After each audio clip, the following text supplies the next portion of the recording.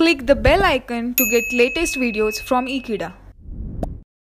Hello friends, welcome to finite element methods. So let us solve a new technique. It is not a new technique, already you know Galerkin method, but we have solved the Galerkin method using the strong form, using the direct differential equation. We have never weakened the differential equation. So let us see how to solve a differential equation using the Galerkin weak form.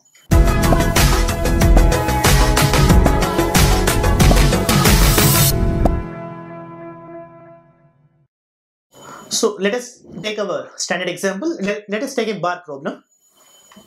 And this is the bar problem. We are having the load of alpha x here. And the span of the bar is capital L. Now the governing equation for this bar is given as Ea d square u by dx square plus alpha x is equal to 0. So now, what are the boundary conditions? u of 0 is equal to 0.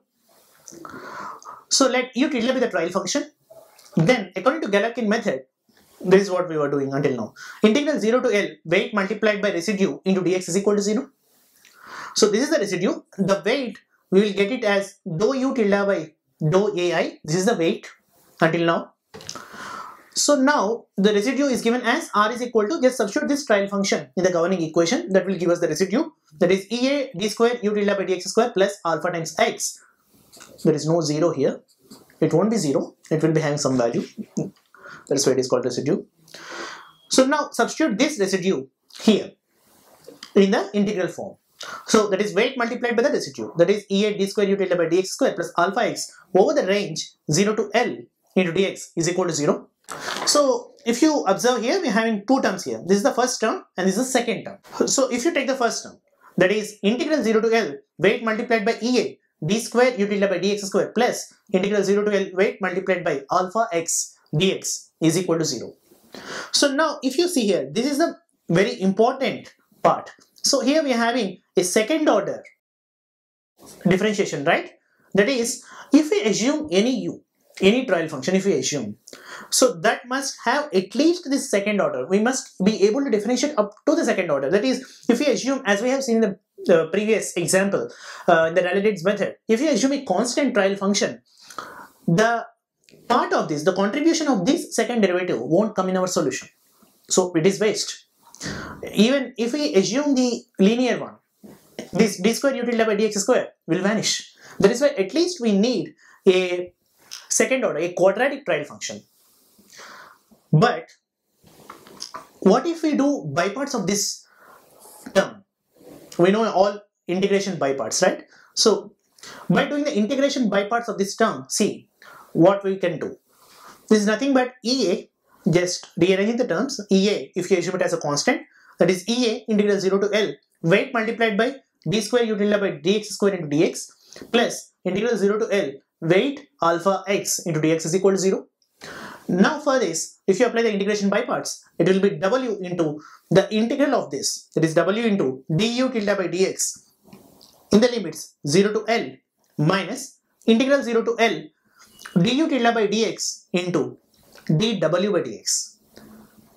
That is, if you observe here carefully,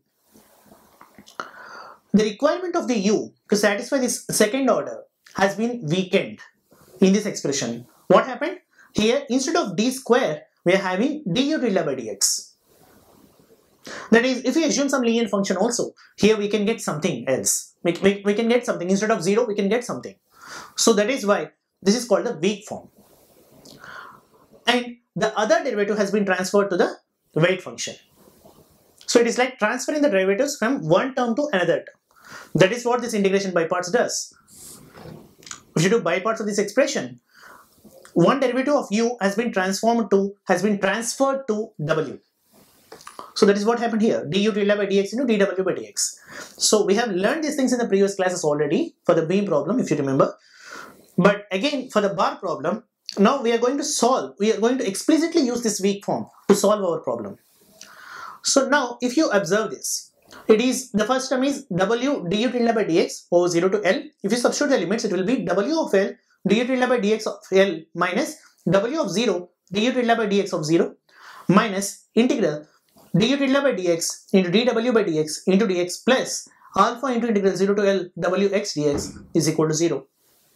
So here I have mentioned here the requirement of u tilde are reduced by one order. That is why it is called weak form. So now, since the requirement of u tilde is reduced here, this form is called the weak form. Here the weight functions will satisfy the, this is an assumption again. Let us assume the weight functions will satisfy the homogeneous boundary conditions at the specified displacements. So what I meant by this? At x is equal to 0, I have a specified displacement u is equal to 0. So that is why I am taking the weight function is also 0 at that position. Wherever we have specified displacement conditions, there take the weight functions as 0. That is w of 0 is equal to 0. Now on the right hand side, we are having force as 0, isn't it? That is why at x is equal to L, Ea du by dx at x is equal to L, that is also 0. Now using these conditions, if you see here, we are having first term and second term, where in the second term, we are having w of 0 in the first term, we are having EA du delta by dx at x is equal to L. That is, this is like force at x is equal to L. This is like displacement at x is equal to 0. This is like the left hand side boundary condition. This is the right hand side boundary condition. Just substitute them. So on the left hand side, we are having it is 0. W of 0 is 0. On the right hand side also it is 0. So that is why these two terms will vanish. The remaining term is minus EA integral 0 to L du tilde by dx into dw by dx into dx plus alpha into integral 0 to L wx dx is equal to 0. So writing the remaining terms separately. So this is the remaining term after substituting the boundary conditions. So now let us assume a linear trial function. So let us say u tilde is equal to a1 plus a2x so in the Galerkin method, we assume the weight function is same as the trial function. That is W is same as u tilde. So W is also linear, but with different constants. Let us say alpha 1 and alpha 2. W is equal to alpha 1 plus alpha 2x. So we are having our trial function, we are having our weight function. So whatever the function we assume, that must satisfy the essential boundary conditions. That is, u tilde of 0 is equal to 0. That is, if we substitute 0 here, then we will get a1 as 0. Similarly, if we substitute the weight also, w of 0 is equal to 0, we will get alpha 1 as 0. So the remaining parts are u tilde and w as u tilde is equal to a2x and w is equal to alpha 2x. Now, we are having du tilde by dx and dw by dx terms. So that is why I differentiate these two expressions. du tilde by dx is a2 and dw by dx is alpha 2. So now substitute that one here it is minus a integral 0 to L.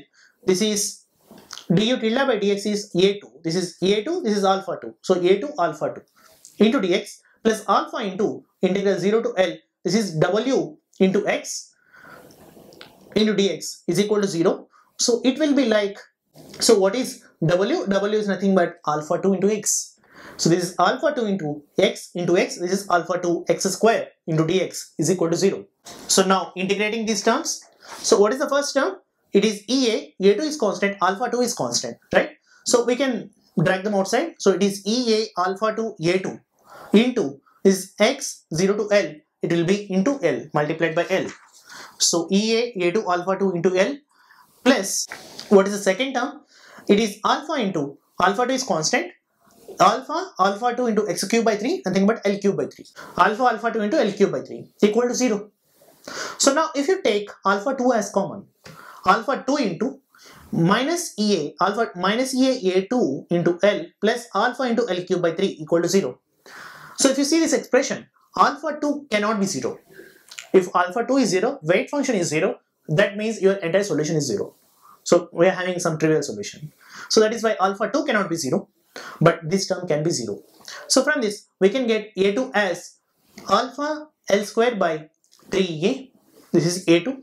So the solution is u tilde is equal to alpha l square by 3a into x. So at x is equal to l, we are having alpha l cube by 3a. So this is our final solution, which is same as the exact solution also. So we can solve the same problem using Galerkin strong form and Galerkin weak form. And both forms are completely equivalent. So you can tackle the problem using the strong form directly or using the weak form but the advantage of using the weak form is you need not to go for higher order of trial functions. You can keep the trial functions in the lower order so that your computations will be easy. So that is why weak form is more famous. Your computations will be more, much more easy if you handle your terms, if you handle your differential equations in the weak format instead of strong format. You can do Galerkin strong form, you can do Galerkin weak form. Both are completely equivalent. Thank you so much for watching this video. Stay tuned to Ekeeda, subscribe to Ekeeda.